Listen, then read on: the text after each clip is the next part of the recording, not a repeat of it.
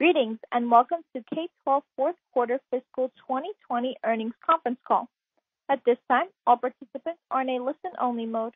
A question and answer session will follow the formal presentation. If anyone should require operator assistance during the conference, please press star zero on your telephone keypad. As a reminder, this conference is being recorded. I would now like to turn this conference over to your host, Mr. Mike Kraft, Head of Investor Relations. Thank you. You may begin. Thank you, and good afternoon. Welcome to K12's fourth quarter and year-end earnings conference call for fiscal year 2020. Before we begin, I would like to remind you that in addition to historical information, certain comments made during this conference call may be considered forward-looking statements. These statements are made pursuant to the safe harbor provisions of the Private Securities Litigation Reform Act of 1995. They should be considered in conjunction with cautionary statements contained in our earnings release and the company's periodic filings with the SEC. Forward-looking statements involve risks and uncertainties that may cause actual performance or results to differ materially from those expressed or implied by such statements. In addition, this conference call contains time-sensitive information that reflects management's best analysis only as of the day of this live call. K12 does not undertake any obligation to publicly update or revise any forward-looking statements. For further information concerning risks and uncertainties that could materially affect financial and operational performance and results, please refer to our reports filed with the SEC. Excuse me. These reports include, without limitation, cautionary statements made in K12's 2020 annual report on Form 10-K.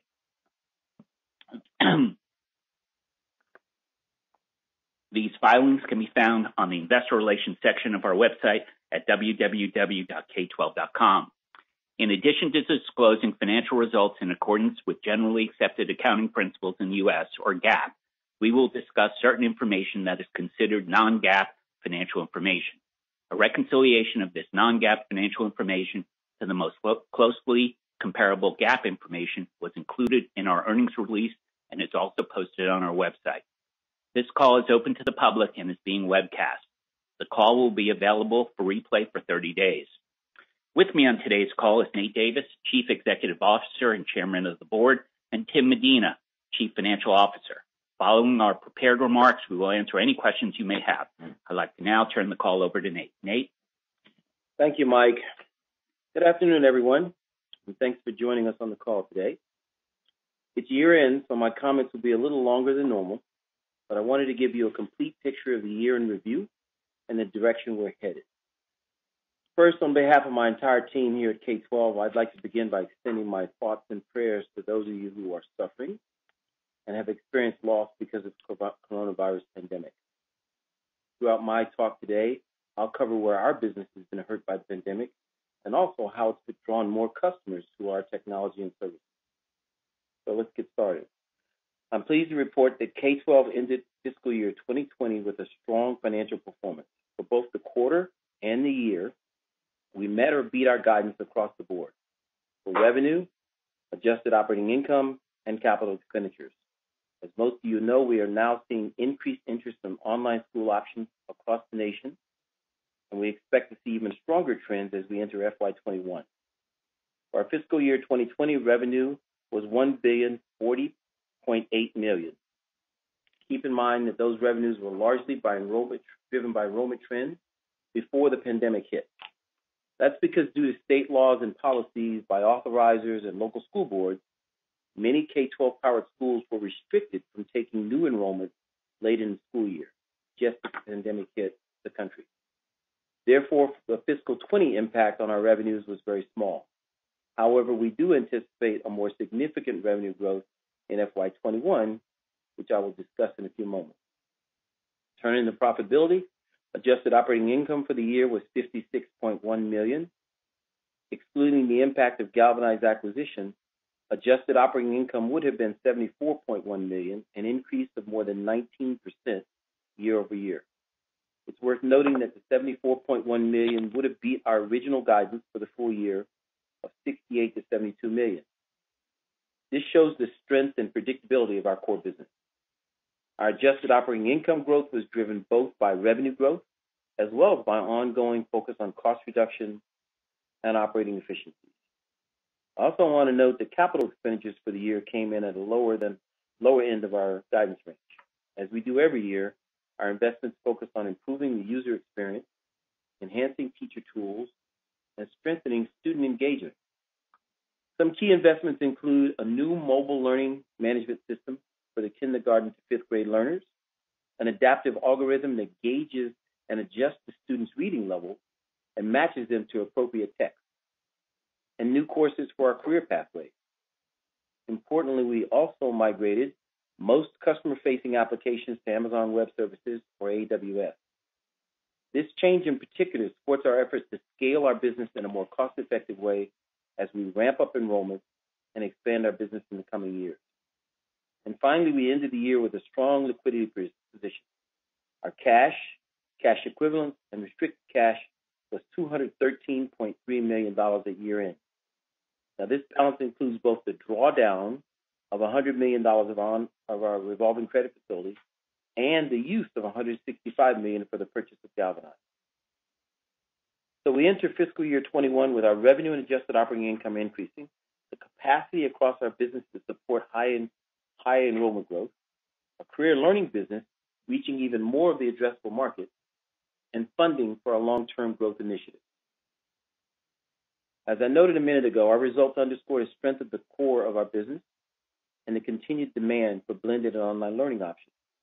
More than 100,000 students in K12 powered schools completed the school year on schedule with little interruption.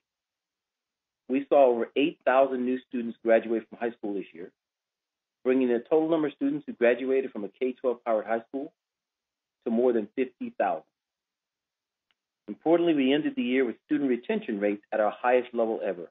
Over the past three years, we've improved student retention by 550 basis points. Now, to put that in perspective, improved retention equates to more than $100 million in revenue that would have been lost over this three-year period. It also had the effect of lowering marketing costs per enrollment. Our entire team is really proud of these numbers. But I have to tell you, our team also knows we have to continue to improve, and we have to deliver great service. That's especially important the larger than ever number of new students coming into our programs this coming year. The pandemic has driven more parents and families to explore online learning options, more school districts to use online learning, and more policymakers to understand the value of an online learning option in their state. Starting with consumers. A recent poll conducted by Morning Consult showed that 71% of parents felt that online education should be an ongoing option for students even after the pandemic subsided. As for school districts, more and more of them now plan to use online learning as an alternative to in-person classes. One such school district is Miami-Dade County Public Schools, a district we've had a relationship for more than a decade. With Superintendent Carvalho and his staff's guidance, K12 will provide customized services, including curriculum, assessment tools, teacher training, and data management. This will ensure a strong start to the new year for both educators and Miami-Dade's more than 270,000 students that we'll serve. Teachers already employed by Miami-Dade will combine their great teaching with our technology and expertise to provide high-quality instruction in a safe environment. This allows Miami-Dade to retain both teacher jobs and the all-important existing student-teacher relationship. In alignment with um, their existing learning goals, Miami-Dade Public School teachers and administrators can also customize the online curriculum we're providing, including core subjects and hundreds of electives. This shows the flexibility of the K12 technical platform. We're thrilled to support Superintendent Carvalho and the innovative solution he and his team have designed. This is just one example of how a large school district can rise to meet the unprecedented challenges of school closures caused by the COVID-19 pandemic. We're working with other school districts on their own customized solutions for the fall as well, and we stand ready to support schools and school districts of any size during this critical time. This quarter, we also continue to make our products available for free on a trial basis. To date, more than 200,000 families, teachers, students, and schools have signed up for these programs and webinars. This is more than twice the number who took advantage of it last quarter. We believe this outreach, the public discussion around online schooling, our own marketing efforts, have all increased the number of families who are looking at enrolling their students in our schools this fall. In the fourth quarter of our fiscal year, we saw lead volumes and enrollment applications rising more than 50% compared to the same period last year. Now, we caution that it's still too early to know how many of the applications will result in final school enrollment for the 2021 school year. With many parents still finalizing their students' plans, we can't be sure of how much of this interest will translate into a final enrollment. That being said, we believe that many of the families who have begun the enrollment process will complete the enrollment process for the fall. And a little later, I'm going to give you even more quantitative understanding of our current enrollment status. With the potential for significant increases in enrollment, we're taking steps to prepare for the upcoming school year. This includes proactively hiring 1,300 incremental teachers and education staff members, building education additional server capacity, buying thousands of new student computers, and stocking offline materials so that they're ready to go when students enroll.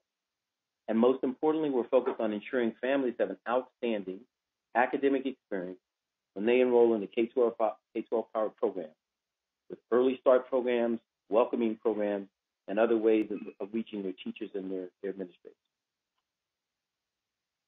Now I'd like to turn to our career learning offering. This year we hit a significant milestone. We ended the year with revenues of $107 million inclusive of Galvanize. This is an increase of 115% year over year. In a little more than three years, we've built a comprehensive and innovative approach to career learning that serves more than 13,000 students this past year and posted more than 100 million in revenue. We believe that career learning increases our addressable market by more than tenfold and will be a driver for revenue growth and profitability in, in years to come. Our nation has approximately 15 million high school students. Our market show surveys show that over 12% of these students will consider full-time online public schools, and their parents also concur that they would consider full-time online public schools. And it's the schools that combine traditional core academics, such as math and English, with online career readiness education. And other statistics reinforce our belief in the long-term growth potential for this business. For example, research conducted by Burning Glass Technologies over the last 90 days shows that 56% of job openings required less than a four-year college degree. Our career learning program for both second, secondary students and adults closely aligns with this market demand and today's tech-first job market. So, a quick commentary on some of their accomplishments in this area over the last 12 months. First, we opened Destination of Career Academies, or DCAs, as you might hear me say, in New Mexico, Kansas, Missouri, and Wyoming. And it brings the total number of DCAs to 24 for the start of this school year. Additionally, we expanded programs into middle school grades in seven schools, allowing students to get a jump start on career exploration and what career learning is all about. In total, more than 9 million students across the nation now have access to our career learning options. Over the next two to three years, we plan on expanding our coverage across all of the states that we serve public schools in.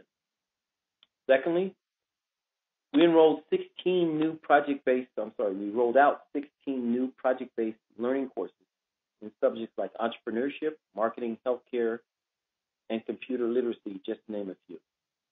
This learning approach keeps students more engaged and makes classes more collaborative. We're also seeing a link between increased DCA student engagement and retention. At the end of the year, student retention in DCA programs was nearly 10% better than in their non-DCA counterparts. And while there are many factors that contributed to change, this kind of change is significant. For some time, we speculated that DCA experience has helped to further engage and retain students at a higher rate, and we're now seeing the results of our efforts. Third, an important part of the career learning program involves opportunities for students to explore careers through exposure to industry experts. This includes chats delivered on the Nepris, Nepris virtual platform. This opportunity complements real-world work experiences in the form of job shadowing and internship. In fact, K-12's annual Job Shadow Week, which was only in its second year, had over 2,500 student participants this year, and that's up from just a few hundred last year. Companies like Google, Salesforce, Google's subsidiary YouTube, the Motion Picture Association of America, all connected with students from across the country, exposing them to the professional skills and expertise they'll need to succeed. Fourth, our career learning, career networking partner, Tallo. They reached a significant milestone as they surpassed 1 million talent users on their platform. That's almost double the number of users the platform compared to a year ago. This quarter, Tallo also saw colleges and universities turn to them as an alternative to the in-person recruiting initiative that got canceled because of COVID. Tallo is now serving new partners ranging from Texas Tech University and the Medical University of South Carolina to smaller specialized schools like the College of Creative Services and Creative Studies in Detroit. However, the Tallo proposition is it's just more than just adding students and partners. It's about how these constituencies are leveraging the. During the past year, Tallo made more than 180 direct engagements, what we call matches, between institutions seeking students for scholarships or jobs to Tallo members who were looking for those scholarships and jobs. Again, this is just the beginning. In the future, I see even more growth opportunities and new applications for the platform as part of our career learning experience. And finally, a, a valuable new part of our career learning business is Galvanize. Market demand for software engineers and data scientists continues even during the pandemic. In the same Burning Glass Technologies research I mentioned earlier, more than 27% of recent job openings across a diverse set of industries are IT related. The immersive boot camp from Galvanize continues to be 100% live, but it's now online rather than in building. And while students have selected to defer, some students have selected to defer their admissions until in-building classes have resumed, the focus on remote learning has expanded our potential student population.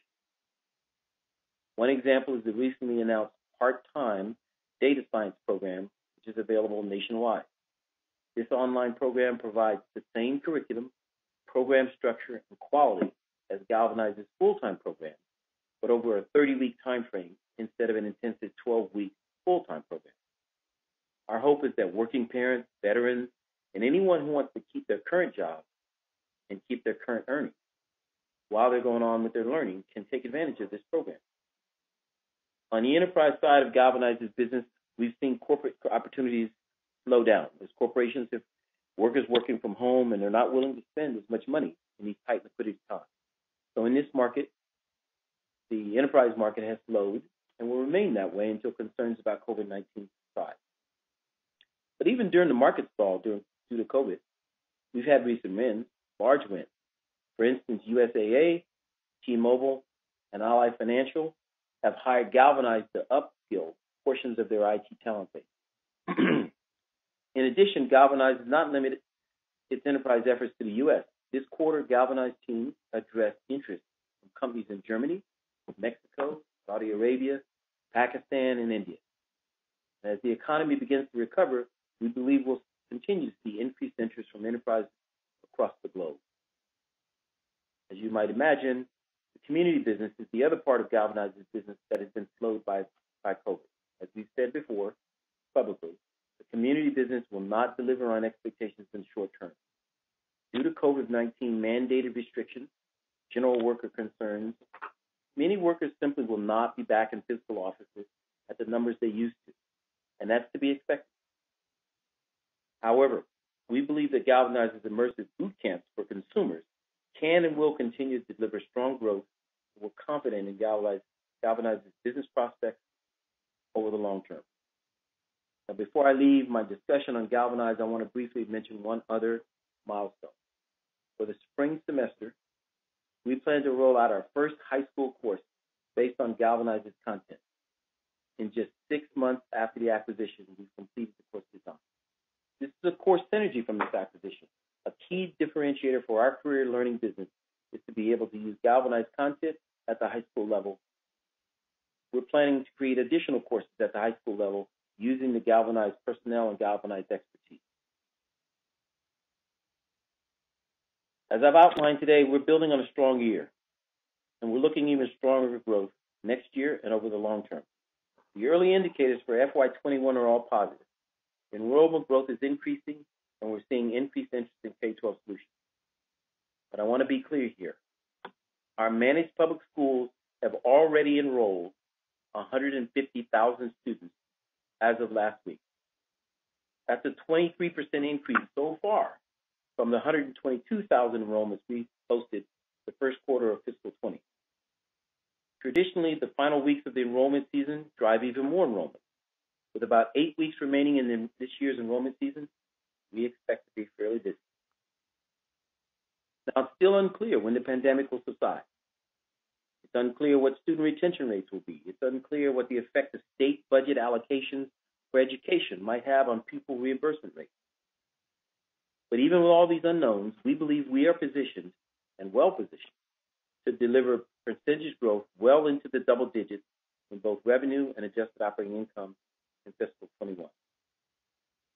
Keep in mind this is only a statement of enrollment growth so far to date as of last week and not formal guidance for the coming year. As we do every year, we will provide formal guidance for the fiscal year in late October when we announce first quarter earnings. Okay, I'm getting close to closing. I warned you this was going to be long because it's the end of the year and there's a lot to say. Wrap it up. We've always maintained distance learning technology is a key to the way education will be delivered in the future. It happened at the corporate level. It happened at the college level.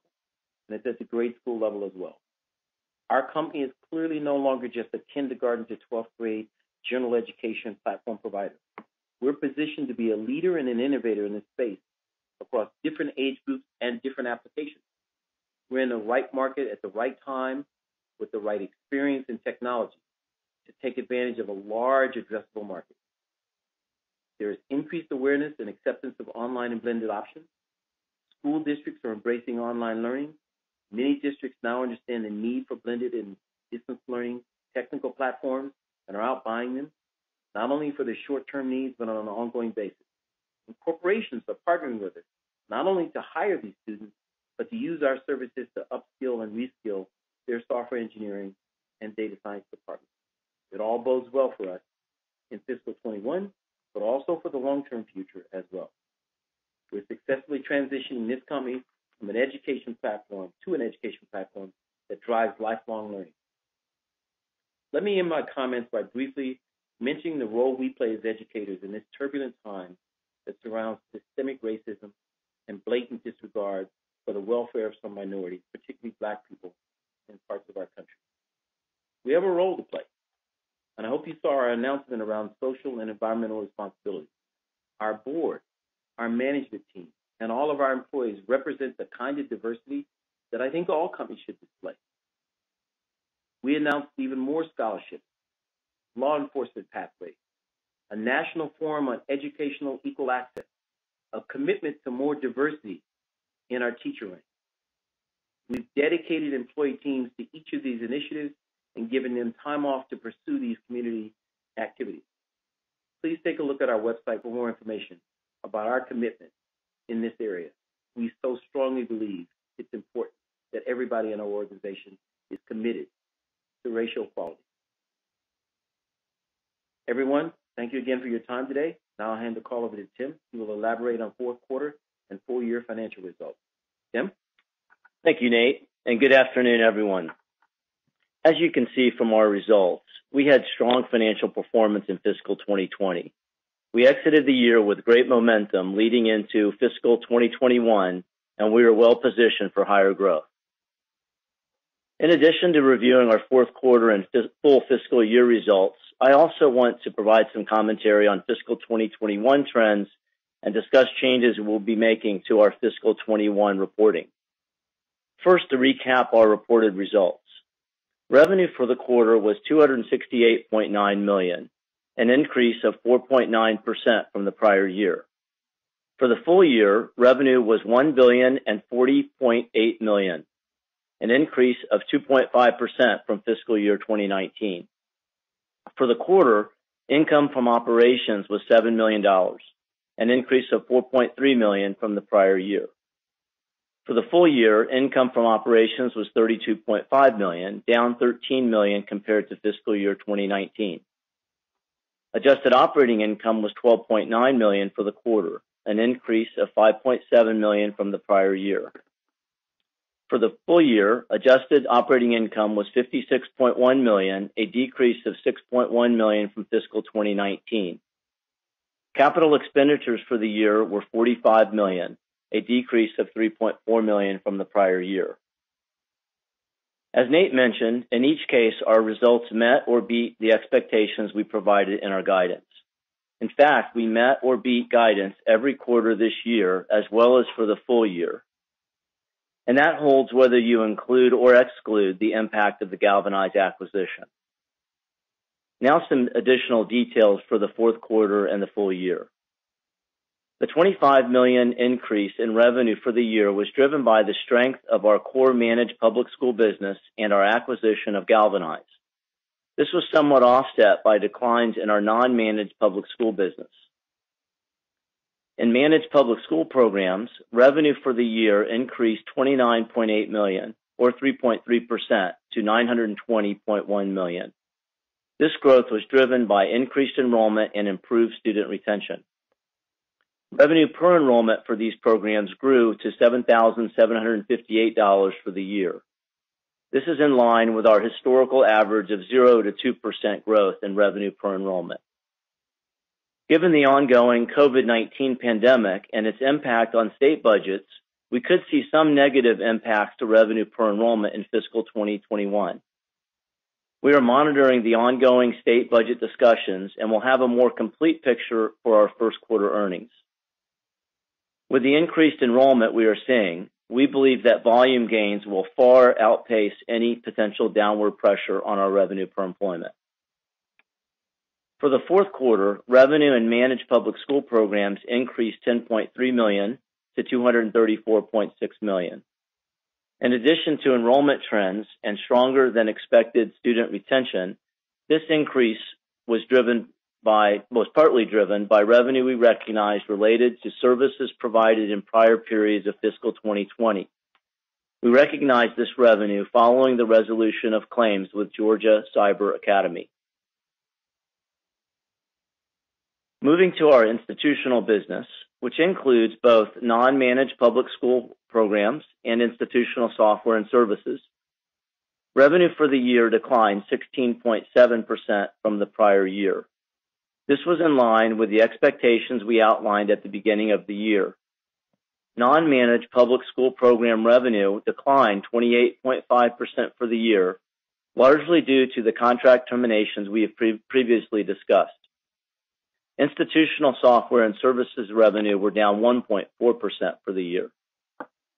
As Nate mentioned, because of the COVID-19 pandemic, we've seen an increase in schools and districts reaching out to K12 to provide online options for students and families. While some contracts are signed, some conversations are still ongoing, and it is still too early to know the impact on this business. However, we believe that this business will grow in fiscal 2021 after several years of declining revenue. Private pay revenue was 16.4 million for the quarter and 45.7 million for the year. The Galvanize acquisition added 11 million in revenue to this business since the acquisition. The Galvanize revenue is somewhat reduced by the impact of purchase price accounting. Excluding those impacts, Galvanize revenue for fiscal 2020 uh, since our acquisition would have been $13.6 million. Gross margins for the year were 33.4%, 130 basis points lower than the prior year. Margins were impacted by Galvanize as well as lower institutional sales.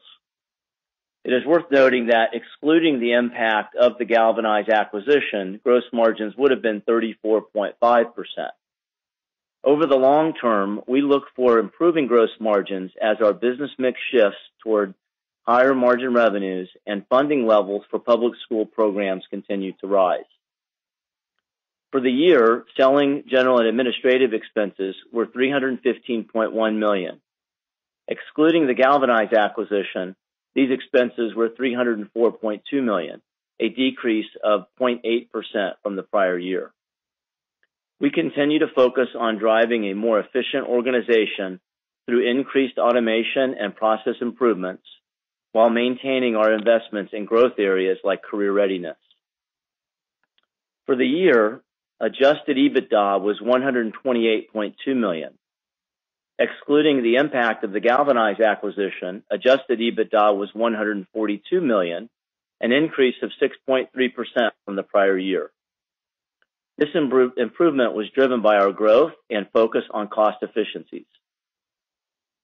Adjusted operating income was 56.1 million. Excluding the Galvanize acquisition, adjusted operating income for the year was 74.1 million, an increase of 11.9 million or 19.1% from the prior year. Our improvements in profitability underscore the strength of our managed public school business and effective management of our cost structure. Stock-based compensation for fiscal year 2020 totaled 23.6 million. A few years ago, we implemented a long-term incentive based on growth in our Career Learning Solutions business. In fiscal 2021, more information about the likelihood of achieving some of the targets in that plan may be available. Therefore, we could begin to record the expense and see an increase in stock-based compensation in fiscal year 2021. Some other items to note. We ended the year with cash and cash equivalents of 213.3 million, a decrease of 71.3 million from the prior year. This increase was driven by our acquisition of Galvanize, partly offset by the draw against our credit facility. During last quarter's earnings call, I mentioned that we saw strong enrollment growth in states that typically pay all public schools after the school year. This resulted in lower free cash flow for fiscal year 2020. However, based on the shift in these payments and the early indicators in July and August, we expect to see substantially stronger cash flow in fiscal year 2021. Turning to capital expenditures. CapEx, which includes curriculum and software development and infrastructure, was 45 million, a decrease of 3.4 million compared to last year. Over the past couple of years, we've maintained CapEx in this range of $45 million-$50 million a year. Going forward, we believe this level of capital outlay is sufficient to support our core business as well as the growth in Career Learning, inclusive of the Galvanize acquisition. Our effective tax rate for the year was 25.8%. We had some positive tax benefits related to prior year returns in fiscal 2020 that will not recur in fiscal 2021. Additionally, we expect to see an increase in non-deductible compensation. Therefore, expect that for next year or this year, fiscal 2021, our tax rate will be closer to 30%. Now I want to outline some changes we'll be making in our reporting for fiscal year 2021.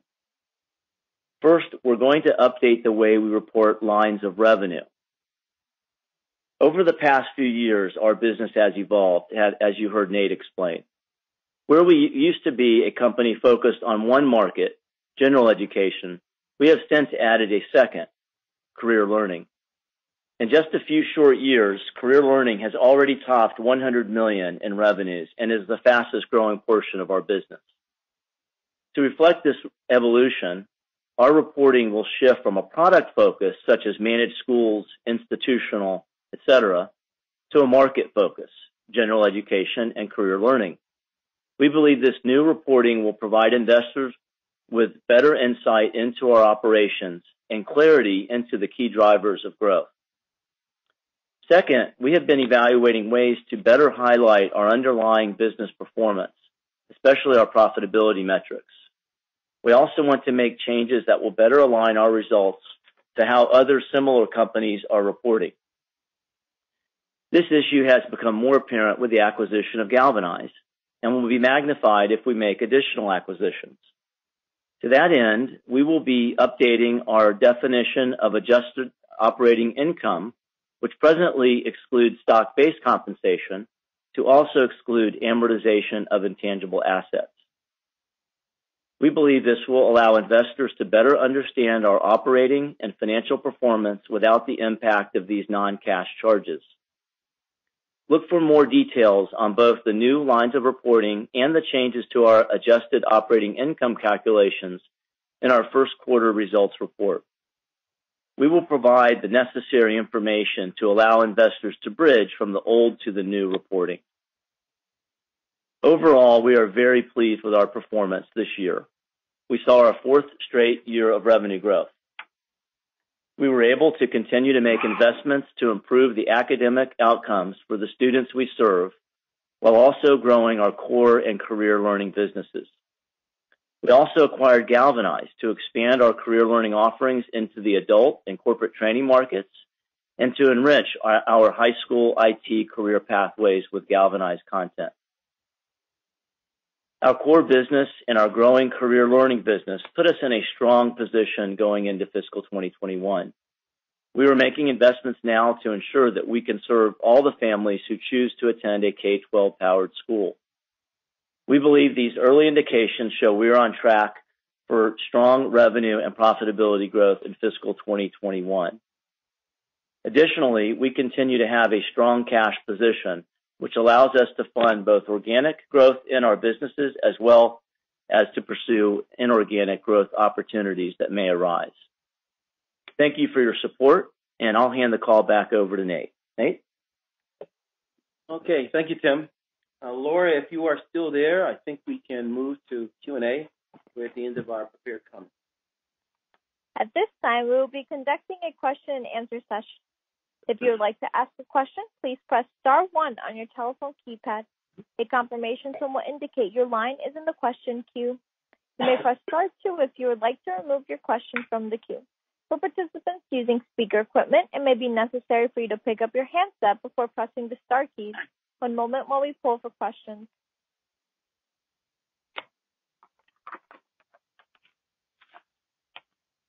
Our first question comes from the line of Jeff Silber with BMO Capital Markets. You may proceed with your question.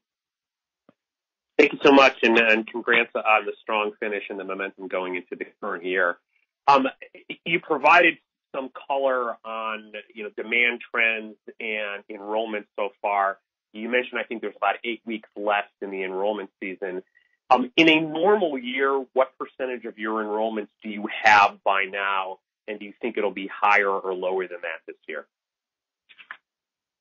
You know, Jeff, how you doing?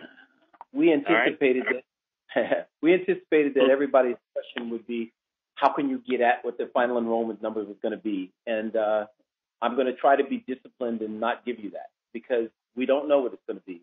And this year doesn't look like previous years, and and we haven't disclosed what the weekly, monthly growth trends would be. So I don't want to be evasive.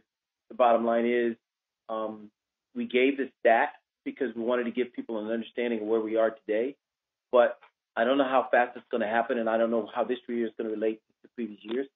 So we're going to decline to give more detail than just to say we're at 150 now. And uh, we know it's continuing to grow. Um, you know, as you might imagine, we're seeing more demand this year than we've ever seen before, but I don't know how much that demand continues. I just wanted to give a little more color to investors than we've given in the past. But it's it's just too hard to predict what's going to happen in the rest of this year. So I I really can't try to contrast this year to previous years and go through that math. All right. You can't blame me for asking. Um, no. Let me ask you. I'll ask another question about the enrollment trends, and I'm not looking for a specific number. But the type of demand that you're getting, is it coming more from parents? Is it coming more from your school district partnerships? Are you seeing an impact of some of the new schools that you're opening? Any color there would be helpful. Sure. And, and yes, we can answer that one. Um, it's coming, the primary growth is coming from parents who want to have an option for their kids. It's it's enrollment in our, our, what we traditionally have called managed schools. Um, That's the primary growth. We are seeing increase, however, in school districts who call us and want to use our content and our curriculum. With more of those contracts this year than we've ever had in any one year before. Um, I mentioned Miami-Dade, You know, there's others we're working on, not yet disclosed, but but maybe not as large as Miami-Dade. I said there are 270,000 students. There are others that are literally anywhere from 10,000 to 100,000 students. So we're seeing more demand there as well. But by far, the biggest demand, they're individual parents saying, "I need to get my kid into a into a, a, a safe environment." Um, and the new schools, um, the new schools that we, we're turning up are doing well. They're in smaller states, obviously. Um, they're not in the bigger states, but they're filling pretty fast.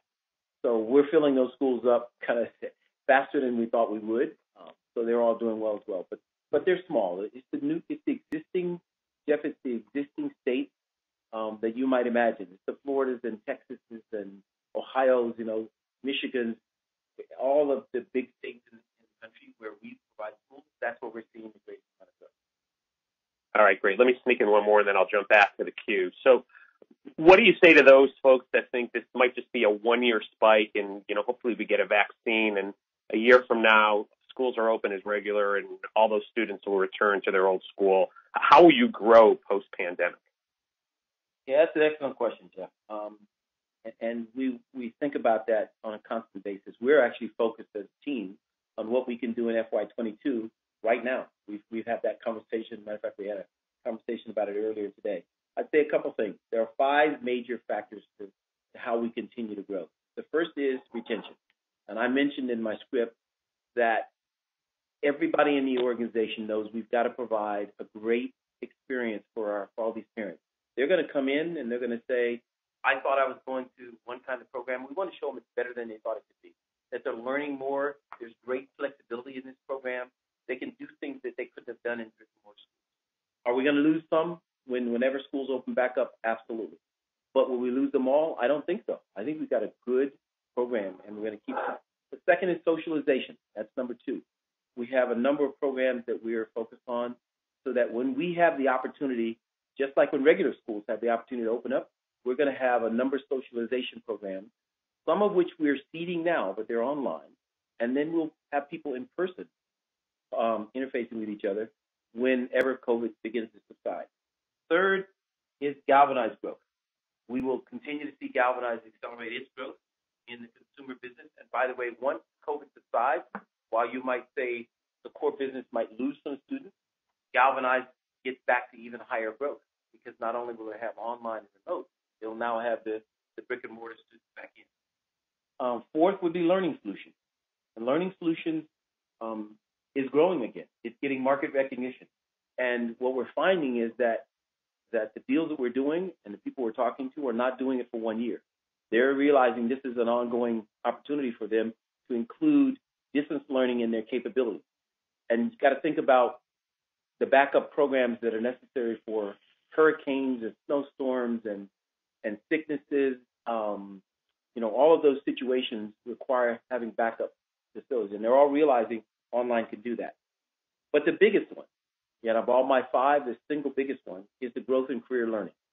Um, we have a lot of energy, effort put into that. We're opening up more schools, and uh, we think we're going to see continued growth in career learning at a higher rate than we've seen in the core business. So when you add improvements and, and, focus on retention, socialization, um, learning solutions growth, Galvanize growth, and career learning growth, you see that we believe that we'll not, this is not just a one-time year, we're going to continue to grow. That help you? I really appreciate. Yeah, I really did appreciate the call. Thanks so much. Thank you, Jeff. Our next question comes from the line of Stephen Sheldon with William Blair. You may proceed with your question. Hey, thanks. Uh, good to hear on the enrollment momentum. Was curious if there's anything notable about the grade levels where you're seeing higher enrollment growth. Are the enrollments skewing kind of older or younger? And can you also talk about enrollment trends through August between career readiness and, your traditional programs? Um, the percentage growth between the two is, is about equal. Um, we're not seeing one grow faster than the other uh, at one time. Um, but uh, in terms of, I'm sorry, the first part of your question was?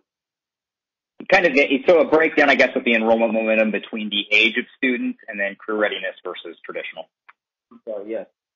So, uh, we, you know, it's kind of across the board. Um, we there's a slight difference um, in in the high school students and the product that they're going after. So we actually see a little more growth in in high school. Primarily, we have more of the of the high schools, um, but generally we're seeing it across the board. I mean, I'm I'm not seeing a dramatic difference between high school students, middle school, and grade school. Um, I would say it's across the board. Got it. Uh, and then on, on teacher hiring, I guess how much progress you, have you made on that front so far? How long does it take them to get up to speed, and how are you thinking about you know, teacher to student ratios in this environment?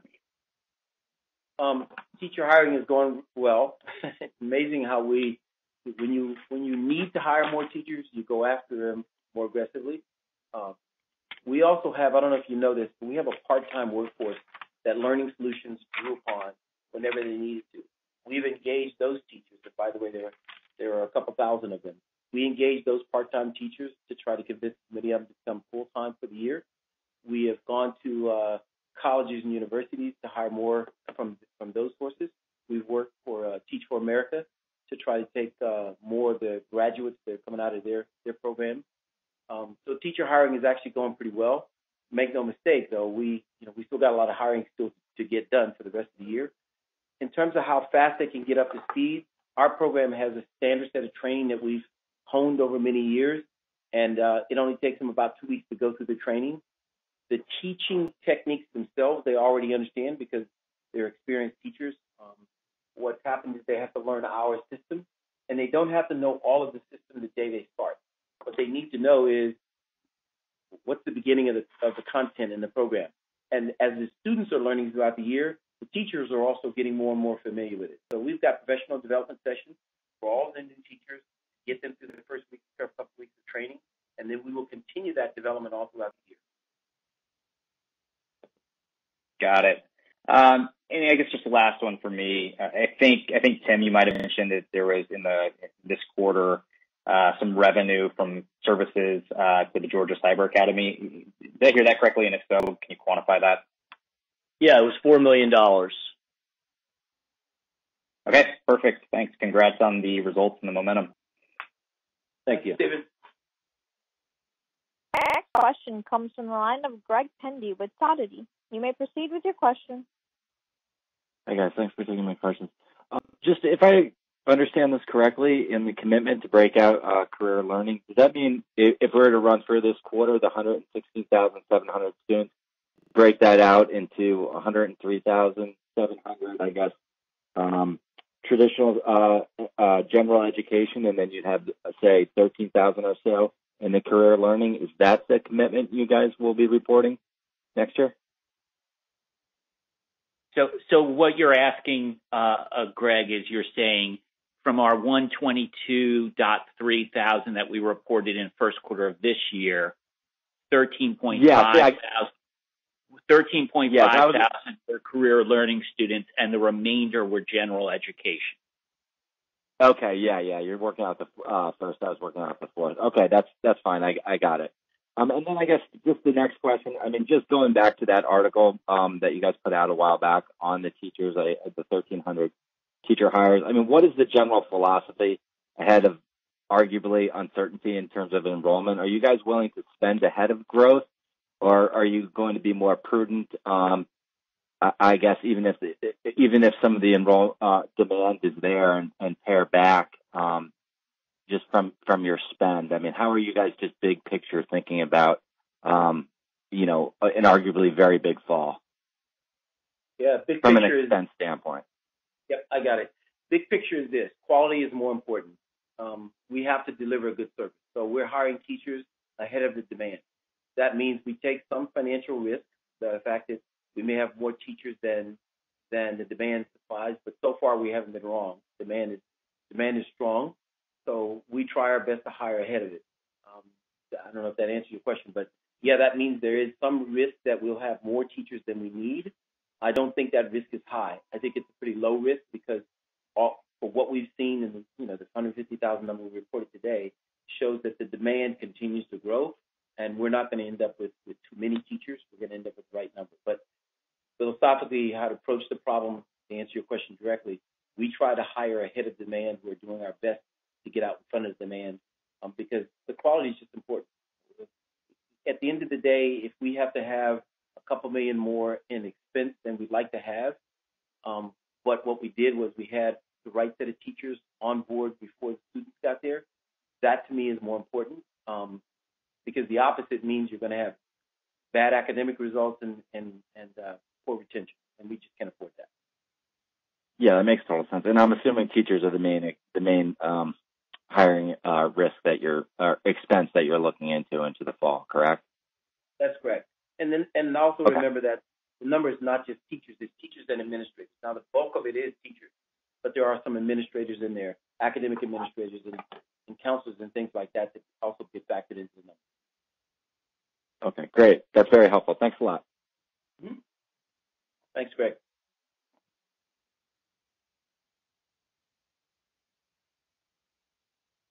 Our next question comes from the line of Alex Paris with Barrington Research. You may proceed with your question. Hi, guys. Uh, thanks for taking my uh, questions. Um, uh, congratulations on the strong finish to the year and what looks like a great year coming up. So, just to, pick on you a little bit, what are you seeing in terms of, you know, from the states in which you operate in? Any telegraphing or signaling on what uh, school funding might look like in the coming year, uh, revenue per student and that sort of thing. Obviously, uh, uh, there could be some pressure there, but again, do you have any anecdotal information that you're seeing operating in that space? Yes. And Alex, um, you said thanks for taking your question. You know, we always take your questions. Absolutely. Thank you. Yeah. So yes, we are seeing some signals from from states. Um, some states are struggling with the issue more than others. We think that that on average rates will will not go up. You know, we're going to have a year when people are struggling with their economies, they're struggling with their taxes, and so we're not going to see rates go up. But we also know that that every jurisdiction is struggling with they don't want their kids to lose a year of, of growth. So um, we're basically seeing most states saying I'm, we're going to find a way to fund education. They're not backing off funding education. Now, you know, you might see small differences in the in the one percent, two percent kind of change, but we're not seeing anybody say, "Hey, we're going to drop our rate um, and drop our reimbursement rate."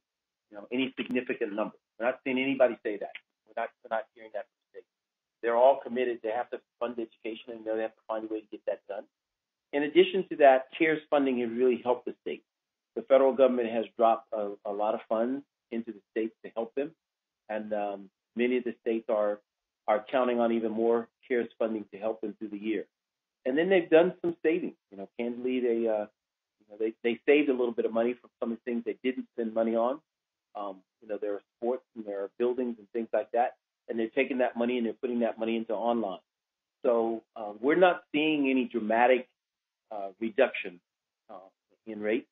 Although, you know, I, I want to be cautious, cautionary there. Um, we know that everybody's down on on taxes because people there are less people working and more people on unemployment. So there's less revenues to the states, and the states are struggling with how do we solve this problem. But they're not backing off education to do it. So I don't know if I'm giving you enough color, but that's that's how we see it. No, that's great and helpful. I appreciate it. Um, and then uh, I guess my last question is about uh, the, the point that you made that you have over 150,000 students enrolled in managed public schools for the coming year. Um, is there uh, uh, what are the variables in, terms of those enrollments starting, um, and what is your historical experience there? good, good try, Alex. Good try.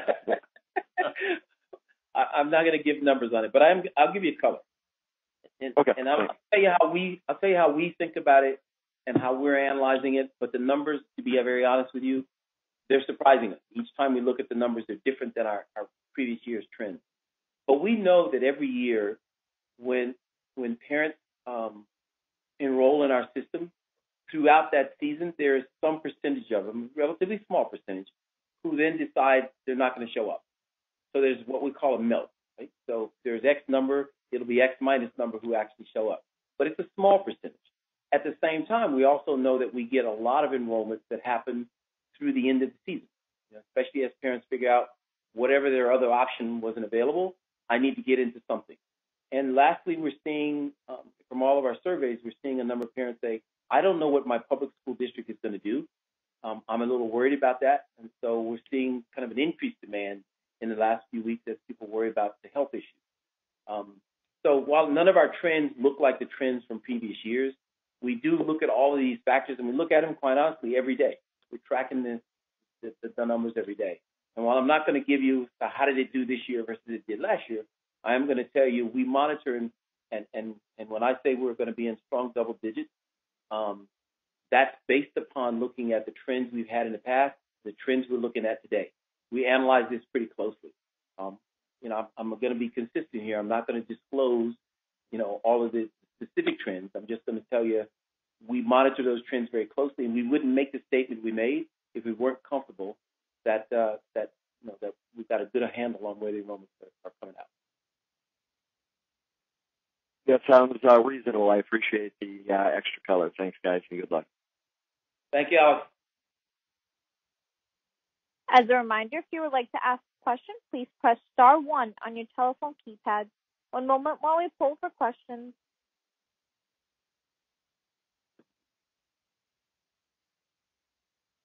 Our next question comes from the line of Troy Adams Priv. You may proceed with your question.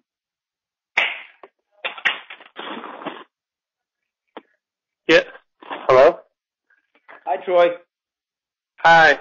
I'm in the education industry, and so I was just wondering um, what the similar question to before with the parents driving the demand. What percentage of your services are offered directly to the parents, and what percentage are going through the, the actual public or private school systems?